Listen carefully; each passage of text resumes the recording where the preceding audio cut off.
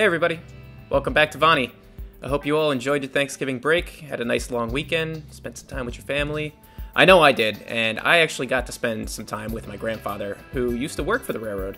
And uh, I have a treat for you guys. I had a nice conversation with him about what it was like working on the railroad, and I recorded it just for you guys. So I'm going to play that back during the time lapse. But first, what I want to do is I want to show you guys a little something about those pick lists that I was talking about at the end of the last episode. So I'm going to show you how to use them, and it's honestly, it's a real game changer for me. So check it out. If you go up to the top left and you click the little uh, martini glass here, your little search thing, there's an arrow here. And what you could do is click this arrow, and you could click create pick list. So let's say I want to create a pick list for shrubs. Let's, I'll just say scenery. Okay, so now it says pick list scenery. So what I can do then, let's say I like this tree over here. I work with this tree quite a bit. I can go for my little get object thingamajig, find it, JVC spruce. So then I can select this and just drag it right over, just like that. And there it is. And now it's saved. Let's say I like this tree. Do the same thing. I can drag it in, and you'll see that I have a couple of pick lists already set up, and you can name them whatever you want. Lighting, crossings, cars and trucks, signs, scenery, whatever. So what's really cool about this, though, is that when you select, let's say, cars and trucks, so I got a few in here, if I close out the Objects tab, and I select Trailer Cargo, what it'll do is it'll open up that tab. Well, maybe it won't. It won't open up the tab, but it'll take you right to that, that asset. So if I click on Flat Nose Truck, brings me right to it. If I go back to my trees, let's say I like a tree that might be a different size. Click it, takes me to there, and I can select any of the ones nearby. So I think that that's pretty cool. Alright, so the next thing I want to show you, and I talked about it in my last video, and I didn't get around to, to shooting it because I don't have any time, um, is the, the scale of this route. So what I'm going to do is I'm going to zoom out all the way and just show you how big this area is. If you look over here, this is Old Town. Actually, no, I take that back. This is Old Town over here. This is Vonny, what we're currently working on. If I scale back even further, you get to see the size of this route is enormous. And a lot of it is not finished. So don't don't think that, you know, I'm just in here kind of like touching up some stuff. There's a whole slew of track all over the place that is just blank. There's just nothing. So we're going to be getting into that later on. What my goal is right now is that this is actually the end of the line, and you'll see that most of this is complete. This will make a nice route to operate on just by itself, so what I'm aiming for is to actually finish up all of this up to somewhere in here, which is where I'm going to cut it off, and, uh, and then release it to you guys. And then we'll continue to make uh, this video series, and we'll, we'll work our way down, down the line, um, actually to the beginning of the route, because we're actually working backwards. Um, you'll see that over here there's an enormous yard. I don't want to spoil it because I'm going to do a whole tour for you guys later on, uh, hopefully for Christmas or maybe for the new year or something like that. Whatever you guys like to see, I want to get it out to you because I really enjoy operating this route and I think you guys will too. So uh, with that, let's get into the time lapse, all right?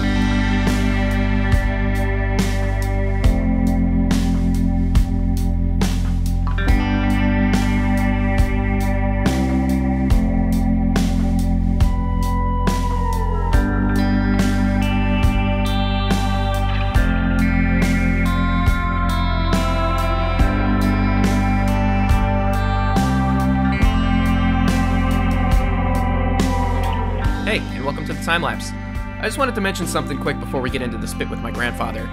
A lot of you have been commenting on my last couple videos asking if I have anything available on the download station. And the short answer right now is just I don't. I don't have anything on the download station, unfortunately. I've been working on this map for a long time, and that's about it. And as I mentioned just a moment ago, I'd like to get this available to you guys sometime in the near future. But if you're looking to play a map that I've created, N3V just released a new version of Trainz called Trainz Model Railroad Edition. And I actually have a map in there. It's called Franklin Avenue Industrial. So if you're looking to play something that I've built and detailed, uh, take a look at Trainz Model Railroad Edition. I think you're also going to be able to download it for Trainz in New Era, but I'm not 100% sure. If you happen to get it, leave me a comment. Let me know what you guys think. I hope you guys enjoy it.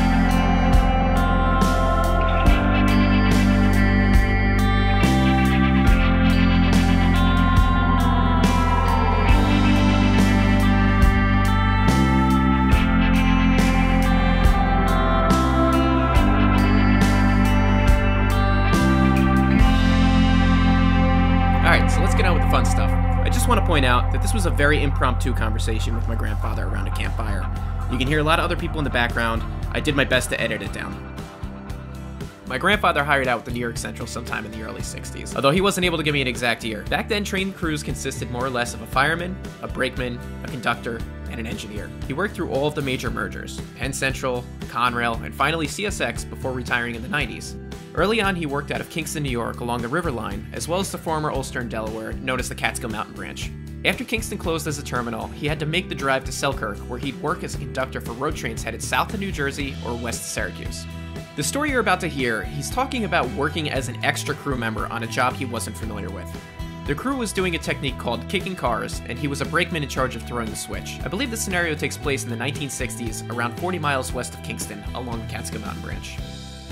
You didn't throw the switch on time? What happened? Oh, well, yeah, you had different, you had different conductors and different uh, uh, crew, and uh, uh, there was a time when I went up with this conductor that he didn't say that uh, he, he, took it for granted that I knew that what we That's were doing. We were going up, we stopped, we made a cut, and then he went up. My job was to stand by a uh, the, switch, and uh, they kicked the car up, and then the engineer came back and throw that switch, throw it, throw it. Mm-hmm. Jesus. Wow.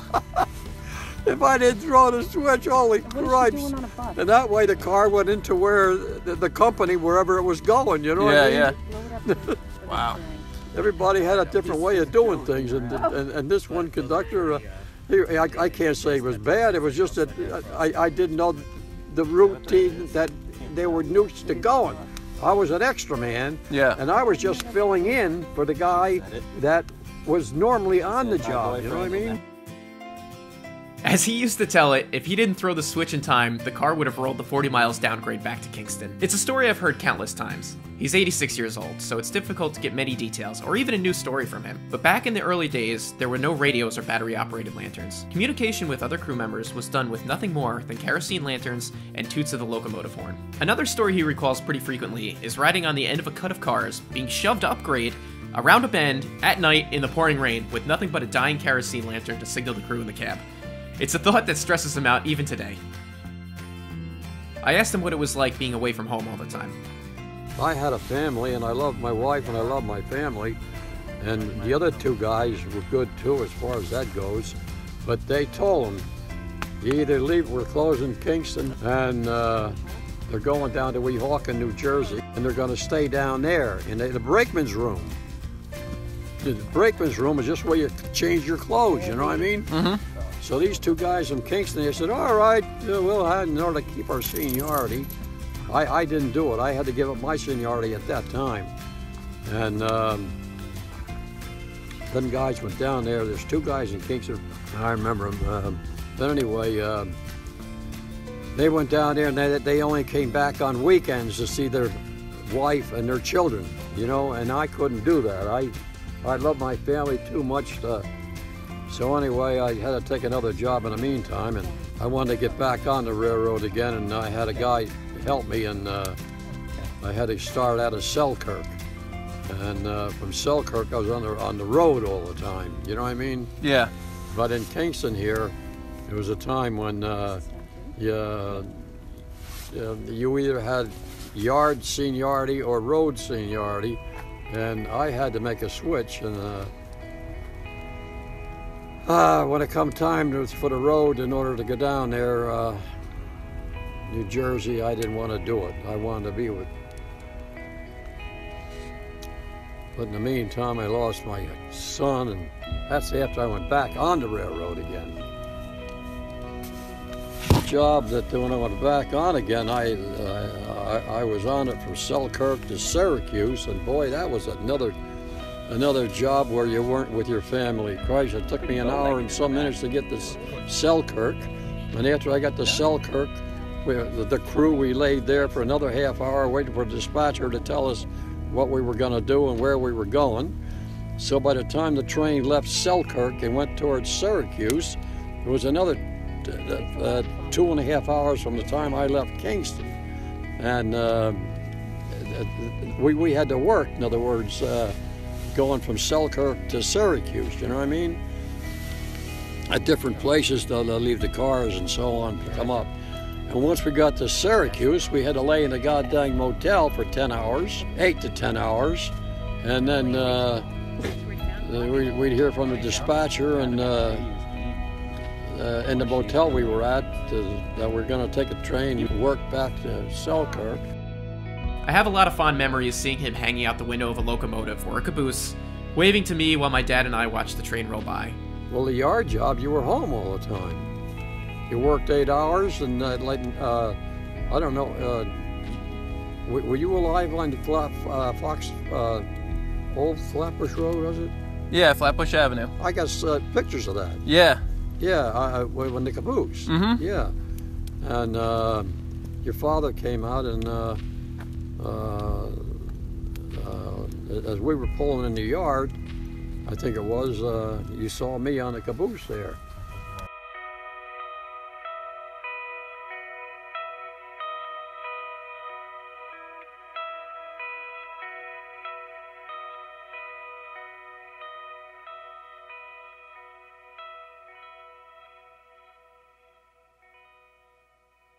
Well, I hope you guys enjoyed that little conversation I had with my grandfather. Uh, conversations like that that I really love. I love hearing from uh, engineers and conductors with experience on the railroad, real life stories, stuff like that. It, it, it just brings so much more to life, and uh, it makes the, the model railroading and virtual railroading experience that much more fulfilling. Uh, so let's get back into this time lapse and what I'm actually doing here. This building here is the Glosser Brothers warehouse. Uh, it services inbound loads of boxcars full of goods that are unloaded for distribution to their company's um, grocery retail chains. Uh, I struggled for a little while to find a building that I liked that would fit in this spot. I'm not really too sold on this one, that's why I had to kind of adapt it with the um, the loading dock. I think it might be a little bit too big and too industrial for this area, but I'm gonna leave it for now. I, I might come back and make some adjustments, maybe replace it with something when I find a better building. I'm also not really too happy with the way that the siding is. I had to kind of cock it on a strange angle, and it's not parallel with the main track. And to me, that doesn't it doesn't look right. It doesn't jive right for me. So I don't know. I'm gonna have to go in, maybe do a little bit of work on the main line or the siding track, one or the other, in between uh, now and the next episode. I don't know. We'll see what happens.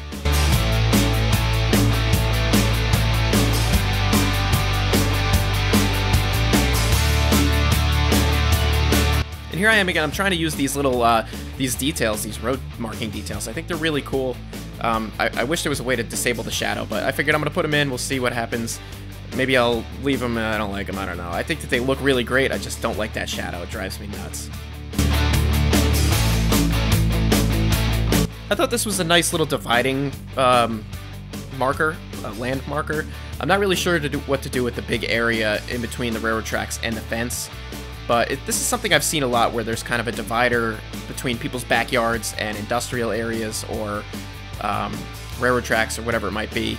And I thought the trees would be used as kind of like a sound barrier to block, you know, any noise from the freight car switching and stuff like that going into people's homes.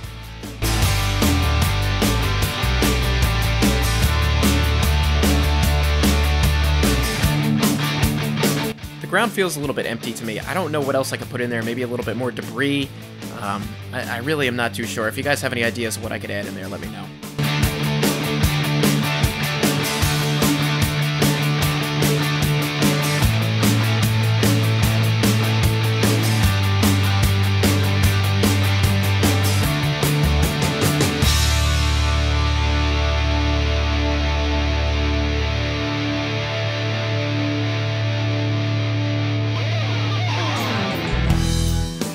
Yeah, it's this song again.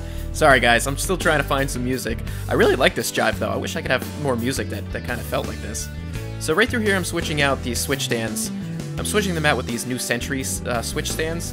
Um, I can't remember who, who uh, made them at the moment. I'll have to look it up and put it in the comments, but they're, they're on the download station. They're called New Century Switch Stand, and um, they're, they're really cool. They look great. You, they, they have uh, different color flags, uh, no flags, ballast, no ballast options. A lot of options for any kind of switch track prototype that you're trying to replicate.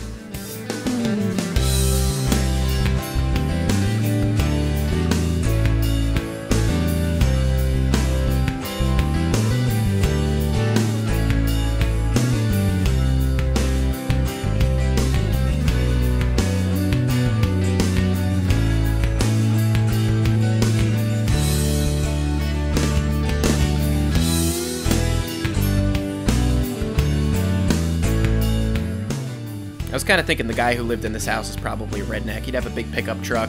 It'd probably be red. I don't know. I was looking for a hot rod or something like that. I thought that would be kind of cool. Nice touch.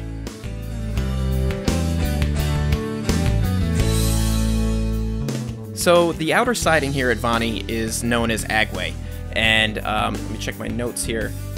It is named for the longtime railroad customer who owns the feed store next to the outer, outer of the two sidings. Um, so this would actually be where all those hopper cars are unloaded. Uh, I need to change out some details to make it kind of represent that a little bit better. But uh, that would be a destination for all these hopper cars.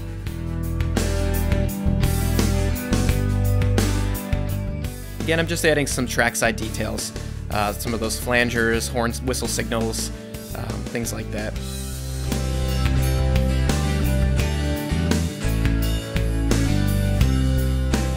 So this area I kind of struggled with for a while as to, to what to put in here, and I eventually settled with a baseball field. And uh, I, I put this in after um, somebody had commented on my last video. Actually, the user named Mel Mel was actually my 100th subscriber and commented that I should add a school. And uh, this would be a perfect spot for a school, but instead I had already built this baseball field. I think it's a nice detail. I might add the school maybe across the street to kind of help fill it out and make it more make more sense. Uh, but I think this baseball field is a great touch. I wish there was people that were playing on it that I could add in. This baseball field really completed this area for me. For some reason, it just tied it all together. It really made sense for me and what Vonny is supposed to be a small town kind of in the middle of nowhere. Um, it, everything is very close together, very community based, and um, to have that baseball field right next to the railroad tracks, right next to the the industrial area, it just made so much sense to me.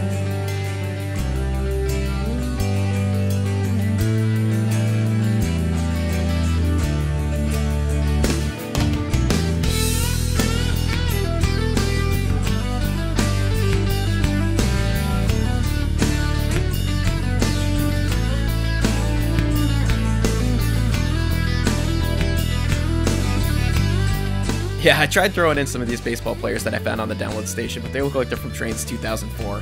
They're those little flat 3D weird, I don't know. But I think the cars are enough to suggest that there's people there playing. I also added a little sound file uh, bite thing in there that that's uh, it sounds like people are actually playing baseball. There are people cheering and and uh, that sort of thing.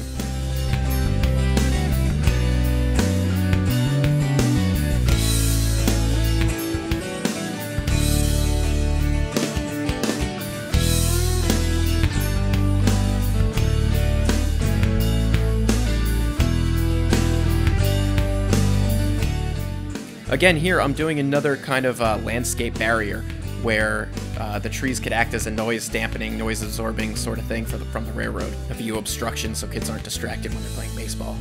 I know I was when I was a kid.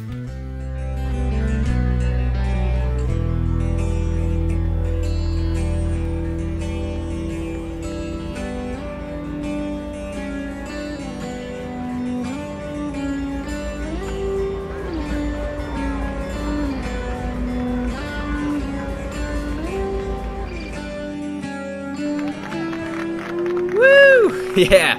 All right. Wouldn't it be so much better if there were people out on that playing field or in the bleachers? Man, I wish I could do some asset creation because that, that that would totally bring this area so much more to life. Anyway, here we are at the end of the episode. I hope you guys enjoyed it up to this point. I really tried really hard this time to keep the camera steady um, when I was building. So I, I, hope that it's a little bit better. I hope you guys notice a little bit of a difference. Uh, I'm going to try to continue to improve to keep the camera steady when I'm building and not zip all over the place.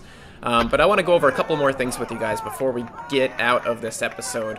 Um, this building, I, I'm almost positive I'm going to change, change out at some point. It's it's big, it's ugly, it doesn't fit. Well, it's a nice building, I gotta say. Jointed rail, they did a nice job on it. But it just doesn't fit this area. I was looking for something a little bit more like a brick building, um, something a little bit more beat up, sort of like this guy over here. But whatever, we'll see what happens. Um, I'm looking to get to you guys two more episodes before the year is over. Um, I want to get you one more Let's Play by December 21st. Uh, so that's two weeks from today and I want to get a tour to you guys before the end of the year. Um, the next uh, episode of this Let's Play, or Let's Build, it's not a Let's Play, it's a Let's Build. Um, we're going to continue down the line to the very end of Vonny. Um, I'll probably do a lot of this scenicking off camera because it's, I don't know, maybe we'll see. Um, but this brings us down to Iron City and the very, very end of the Vonny Branch, which just dead ends down here with a runaround track. So we'll continue on that, and then we'll start our next project, which I think is going to be a coal mine, and it'll be another big build, kind of like the oil refinery. And you guys seem to really like that oil refinery video, so I want to put out some more like that. Um, I hope this video wasn't too boring. There wasn't really a ton of super detail work that I could do here, but you know what? You can't super detail everything. Um, my goal was to get this video to you guys this Wednesday, the 7th, and uh, if you're watching it Wednesday the 7th, it's probably going to be kind of late. If you're watching it Thursday morning, I apologize. I had a very difficult week. You could probably hear it in my voice.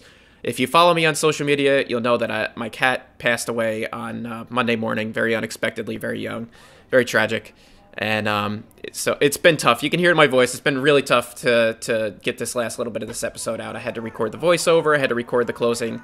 Um, I'm looking forward to reading your comments on this episode, and uh, I hope to see you guys in the next one. I hope you enjoy. Make sure you follow me on uh, Snapchat, follow me on Twitter and Instagram, approach underscore medium. Uh, on all the social media stuff. I, I, give sneak peeks on my videos. I talk about whatever kind of stupid stuff I'm doing throughout the day. Uh, you could follow me when I'm going on my commute, whatever. I post railroad photos, it's fun stuff like that. Check it out. Uh, any one of those um, social medias is, is pretty cool. So anyway, I hope to see you guys in the next episode. I hope you enjoyed. Um, take care. Have a good weekend. I'll see you soon.